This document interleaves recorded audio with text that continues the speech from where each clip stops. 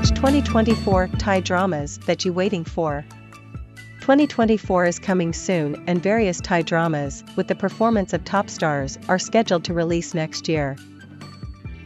Number 10, Fai Nam Khang.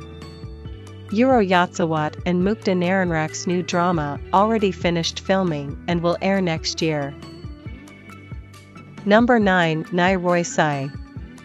If you miss Mike Pattaradet and this Thesis performance, you shouldn't miss Nai Roi Sai, which is coming earlier next year on Thai Channel 7.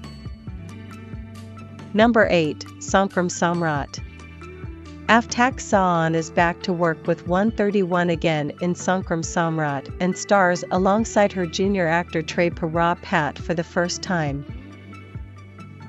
Number 7 Rabbit on the Moon. Rabbit on the Moon is one of the most anticipated dramas on ONE 31 with an interesting storyline and the performance of talented actors Bright Norraphat and Kao Supassara.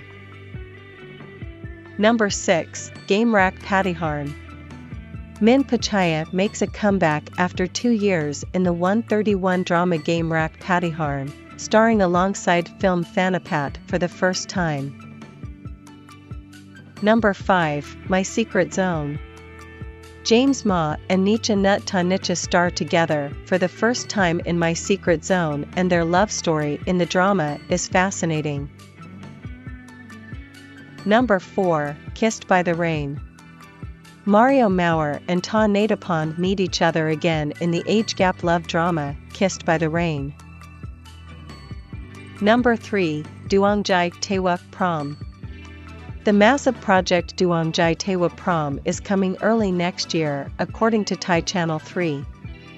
The series stars Gulf Kanawut, Mike Panitan, Tate Myron, Peak Kongthap, and Kao Noppakao.